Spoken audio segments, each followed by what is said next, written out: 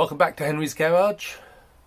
Uh, in this episode we get this on temporarily and I got a question at the end about um, if it's okay. We did try taking the water pump out of my spare engine um, but I couldn't get it out um, even with my slide hammer so um, but um, we certainly had a the, the other the other housing fitted on that engine much more snugly than this one was fitting on here. Um, I did try bringing the other one over here and it was slightly better than this but not a lot. I tried putting this one on the other engine and it was slightly worse than the other one so I decided to leave them as they are for now. Um, I suppose I could bring the other one over um, based on what people say about what I've done here and if they think that will be okay. So um, it's a really, I, I, don't know how long this is, but it, there's not much in it. It's just me trying to get this sorted. Um, so I hope you enjoy. Appreciate the comments and anyone's thoughts and how to solve it and uh, see you next time.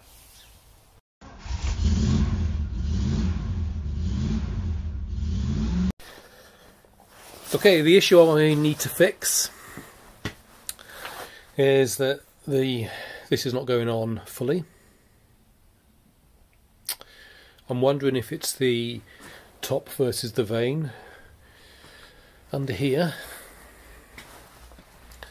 I have another TR7 engine, courtesy of Chris Robinson.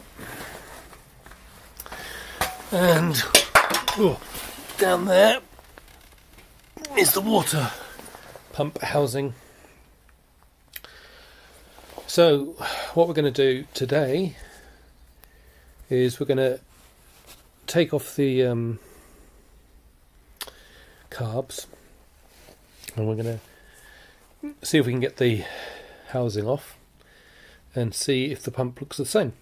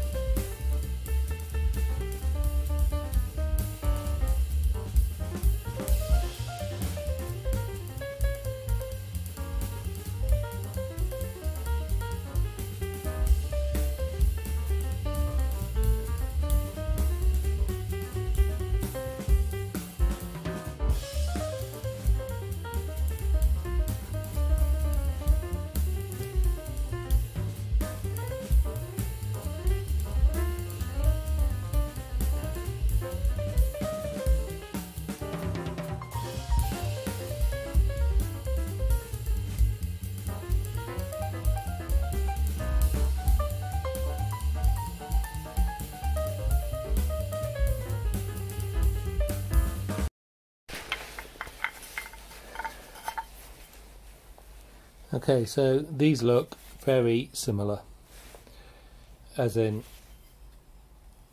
the same. So, um, and this one, so this one would also fit right on there. Without any problems at all. That's a lot further in here than on the other one. So I'm going to pull this out and see if it goes into the other one any better than the one I have in there.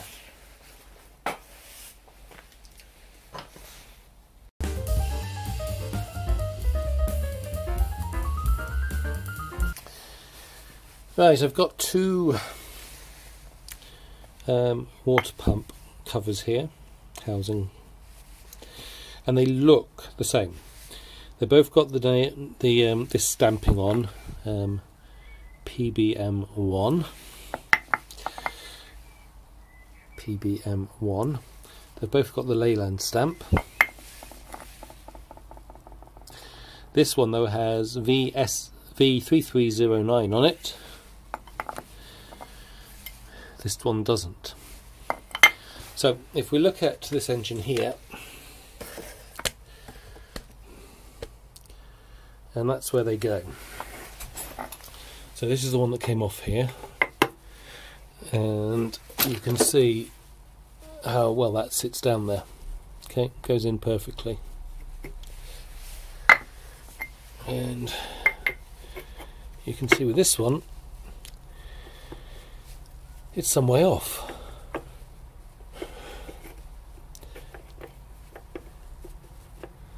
Yeah, you can see the gap. So I think I've got a problem here. Now I don't know if I've caused that problem in some way. Um, or if perhaps, I don't know, the housing isn't as thick. Maybe it's been skimmed off so it's sitting higher. Let's try measuring it. So what I'm wondering is if this thickness here um, is different to the same one here. So we're going to pick a couple of points. Start here. Let's zero it. And we'll be measuring in here. Where's my glasses? That's inches now, I want it in mil, I find that easier. Okay, so here we are in millimetres.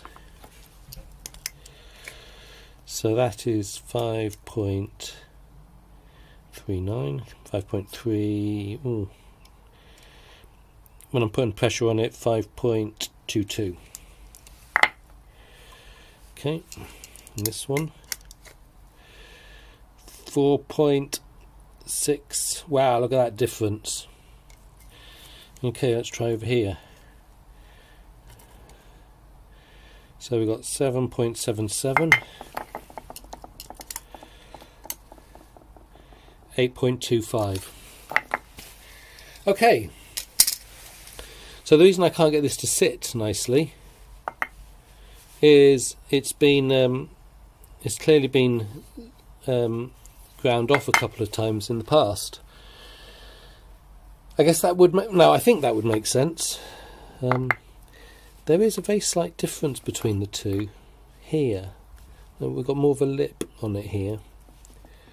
So I don't know if they are actually a different design. Maybe one's for a different car. But that does explain why we are not getting it low enough. Thinking about it, what's more important is this depth. So if we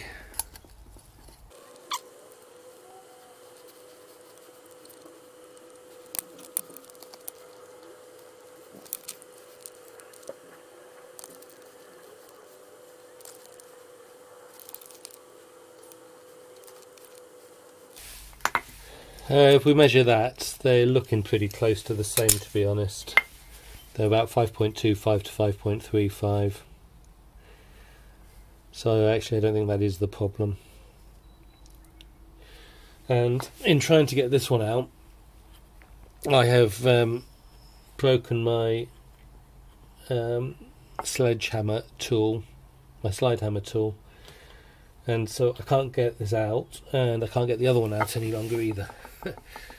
um, so, and um, the threads have gone very slightly on the bottom of it, so that I've tried tried welding on new nuts to um, do it again, and I'm stuck. This is what I meant. So I welded a couple more nuts on here to get my um, slide hammer in there, and so that it would pull out. But it's just it's just coming out on the threads now, so and both of my water pumps are well and truly stuck. Right, I'm measuring a gap here of 94 thou. That's in inches. Alright, I want it to be between 10 and 25 thou. Alright, so if 25, call, call it 95 at the moment, minus 25 is, is 70. And so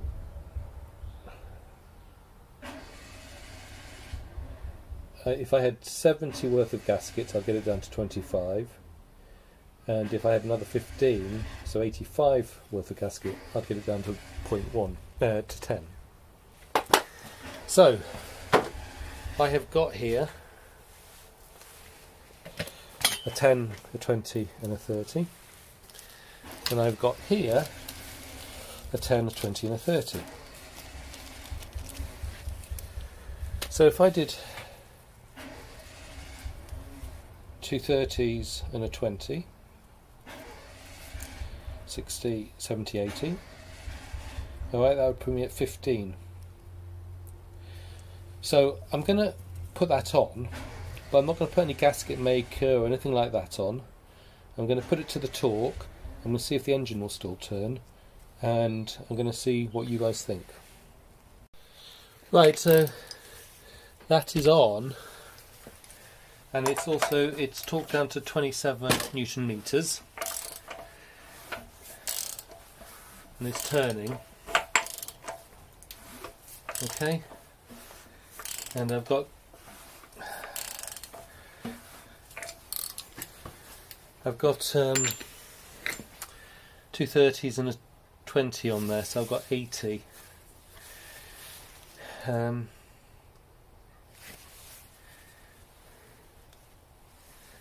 which just I mean it just looks so it looks so big such a big gap.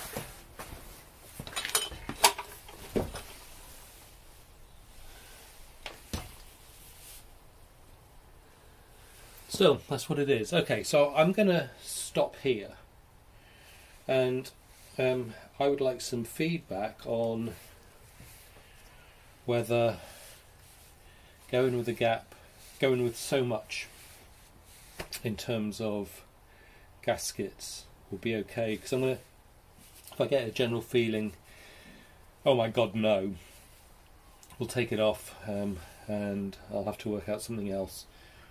Uh, if I get general feeling, well, no, it should be okay because actually, you know, it's it's in the spec. Then I'll take it off. I'll put gasket maker on it to get good seal and put it back on. So that's the um, plan. So a bit of a nothing episode in many ways, but um, yeah, that's what I needed to do.